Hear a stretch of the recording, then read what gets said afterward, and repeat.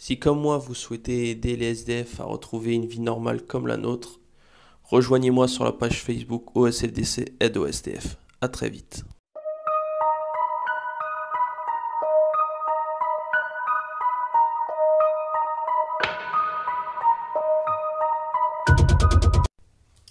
Salut tout le monde, c'est OSLDC, j'espère que vous allez bien. Alors je voudrais faire une vidéo courte sur l'affaire Bilal Hassani. Pourquoi j'ai envie de faire une vidéo courte là-dessus Parce que personnellement, cette histoire, je n'y comprends rien. À part le fait qu'on parle d'un jeune garçon de 19 ans homosexuel qui, depuis les débuts, est un youtubeur de base qui aujourd'hui compte 810 000 personnes sur sa page, 810 000 abonnés sur sa page et qui chante aussi, qui fait de la musique et qui est fier de revendiquer son homosexualité librement, qui a un look vestimentaire assez féminin, mais surtout qui dernièrement a été euh, le gagnant de Destination Eurovision 2019, donc c'est notre représentant français pour euh, l'Eurovision 2019. Alors maintenant vous allez me dire, moi l'Eurovision en général je calcule pas, ça m'intéresse pas.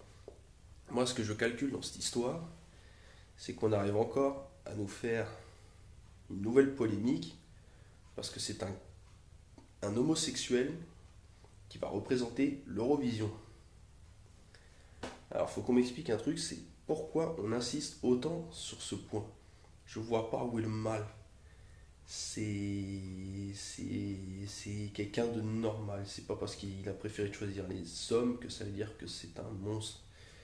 Si les gens ont estimé qu'il avait la voix et la chanson parfaite pour représenter notre pays en 2019, je vois pas où est le problème.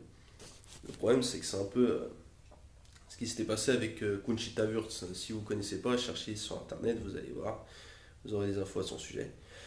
Elle a fait l'Eurovision, et c'est pareil, on a fait des polémiques et des machins. Pourquoi? Parce que c'était une femme qui avait de la barbe.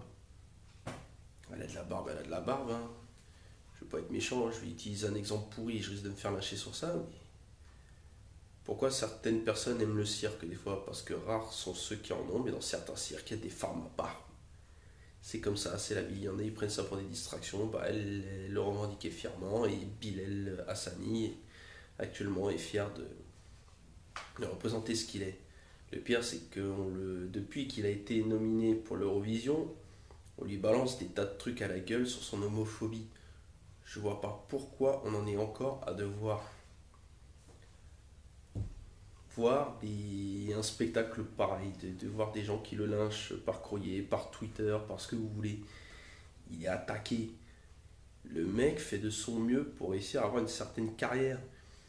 On va pas lyncher les mecs des téléréalités que je sache. On va pas lyncher. Euh, si j'allais dire une connerie ici, on lynche certains comiques quand ils font des, quand ils font des soi-disant copies de, de comédiens américains, on va aller lyncher euh, certains comiques euh, parce que que ce soit accidentel ou non, ils vont faire une blague sur les juifs et ça va être du second degré et bizarrement on va leur dire Oh, ils ont attaqué les juifs. C'est mort, c'est mort, il faut les punir. évidemment, c'est un exemple, hein. c'est pas une attaque contre les juifs, c'est juste une, une vision de ce que j'ai moi personnellement. Et je parle pas que de l'affaire Dieudonné, je parle même de l'affaire Laura Lone qui. Quel est euh, le point commun entre les juifs et les baskets? on en trouve plus en 39 qu'en 45. Qu'elle avait gagné un incroyable talent et qui derrière s'était fait attaquer euh, parce qu'elle avait eu la bêtise de faire un sketch euh, en comparant un juif, je sais plus quoi. Enfin bref. Pour revenir à Bilal Hassani, c'est juste un gars qui, est fier de se dire euh, de temps en temps, bah, je suis un garçon normal. Enfin, on va pas dire un garçon normal, on va dire juste un garçon qui a fait un choix au niveau de sa sexualité qui aime vêtir comme une femme, c'est son droit. C'est son droit. Merde, foutez la paix aux, homosexuels. Moi, c'est pas compliqué. Tout ce qui est homophobie, moi, je crache à la gueule, je lève celui-là. Je me suis fait comprendre, je pense. Et je vais insister longtemps. On en revient à ce que je disais sur, euh, dans l'un de mes podcasts sur, euh, sur le fait qu'on était tous euh, intolérants, même sans s'en rendre compte des fois.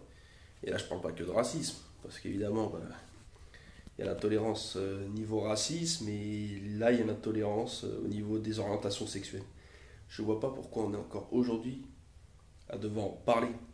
Je suis obligé aujourd'hui de faire une vidéo pour dire clairement arrêtez. C'est quoi faut... Quoi Bientôt vous allez nous faire comme en 39-45 euh, Les homophobes vont être des Hitler en puissance et des nazistes aux blancs aux yeux bleus et ils vont choper euh, tous les homosexuels du coin et les, envoyer en dans les chambres à gaz et tout le machin. Vous allez nous faire ce coup-là. Bientôt vous allez